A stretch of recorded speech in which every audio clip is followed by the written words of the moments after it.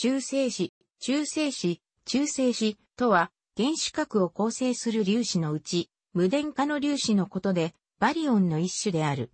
原子核反応式などにおいては記号 N で表される。質量数は原子質量単位で約平均寿命は約15分でベータ崩壊を起こし陽子となる。原子核は陽子と中性子という2種類の粒子によって構成されているため、この2つを総称して各子と呼ぶ。中性子の発見は1920年のアーネスト・ラザフォードによる予想に始まり、その存在の実験的証明は1932年にケンブリッジ大学の物理学者、ジェームズ・チャドウィックによってなされた。その実験とは、ベリリウムに高速のアルファ粒子を当てることで次の核反応を起こし、ここで発生する粒子 N をパラフィンなどで受け、原子核と衝突させることで、さらに陽子を飛び出させ、この可電粒子である陽子を検出するというものであった。チャドウィックは、蒸気の核反応で発生する粒子、当時はまだベリリウム線と呼ばれていた N が、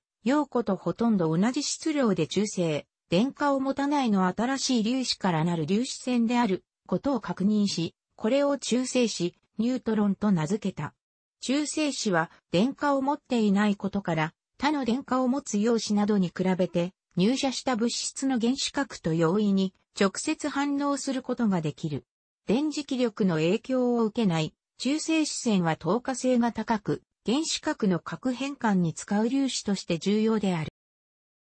原子核の外では、わずかな例外を除いて中性子は不安定であり、平均寿命約15分、半減期約10.3分で陽子と電子及び反電子ニュートリノに崩壊し、それを反応式で表すととなる。中性子はバリオンの一種であり、バレンスクオーク模型の見方を取れば、2個のダウンクオークと1個のアップクオークという3個のクオークによって構成されている。中性子は全体として電荷を持たないが、内部では政府の電荷が分布しており、その広がりは約メートルである。電荷を持たない中性子と原子との相互作用は非常に短距離でのみ働く核力によるものがほぼ全てである。また、核力の到達範囲は、せいぜい、パイ中間子の換算コンプトン波長である約程度、すなわち中性子の電荷分布の広がりである程度しかない。したがって、物質中を移動する自由な中性子は、原子核と正面衝突するまで直進する。原子核の断面積は非常に小さいため衝突は稀にしか起こらず、中性子は衝突までに長い工程を飛ぶことになる。生成した中性子が他の原子核と衝突するまで移動する距離を平均自由工程という印で表す。男性衝突を起こすような場合、運動量保存則に従い、ビリヤードのボールが互いに衝突するように振る舞う。もし衝突された核が重い場合は、核の加速は比較的少ない。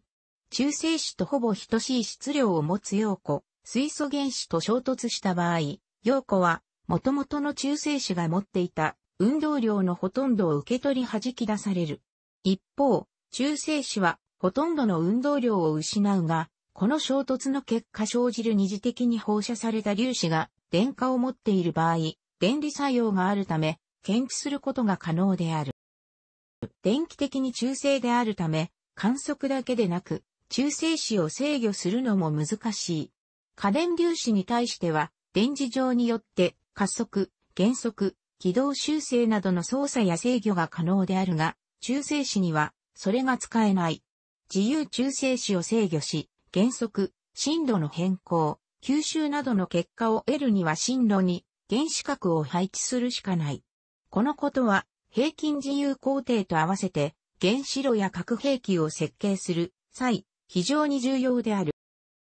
中性子の質量などは物理定数の一種として小型より4年に一度のペースでニストのウェブページを介して公開されている。中性子の質量和であり、統一原子質量単位で表すととなる。また、陽子の質量や電子の質量に対する比和である。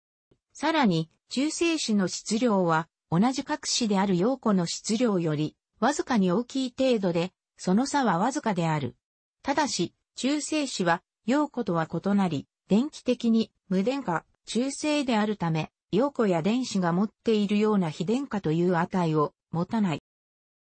中性子のコンプトン波長や換算コンプトン波長和である。中性子は電気的には無電荷で中性であるが、磁気モーメントを持っており、その値はである。電気的には中性である。中性子が磁気モーメントを持つ理由は、中性子を構成する3個の各クォークの磁気モーメントの和として説明される。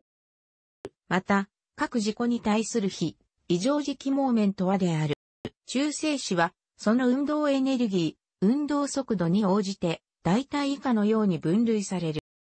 1914年に、イギリスのラザフォードは、重い原子核では、アルファ線を接近させても空論力によって弾き返されてしまうが、軽い原子核では原子核かアルファ粒子いずれかの破壊が起こるのではないかと考え、1917年から1919年にかけて様々な条件下で空気に対してアルファ線を当て、ZNS のシンチレーションを利用して破壊の影響で生ずる。可能性のある粒子を発見しようと試みた結果、水素の原子核が発見された。この水素の原子核は、アルファ線が空気中の窒素の原子核に当たった際にという核反応によって生ずるものである。この結果を受けてラザフォードは、翌1920年にロンドン王立協会において行った講義の中で原子核を構成する粒子には、陽子の他に陽子とほとんど同質量で中性の粒子が存在すると予想した。